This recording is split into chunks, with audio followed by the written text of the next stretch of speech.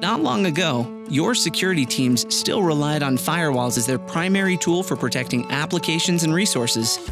Then your organization experienced profound change. Your employees started using their own devices at work.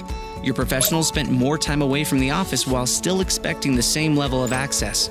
And you also integrated more tightly with your partners to work more effectively with them and use smart devices to interact more closely with your customers. At the same time, many of your digital resources moved outside of your control to the cloud, creating a hybrid environment of internal on prem and cloud based applications and services.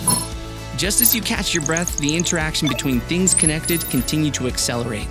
The Internet of Things is a critical component of digital business and is driving your business to the next level.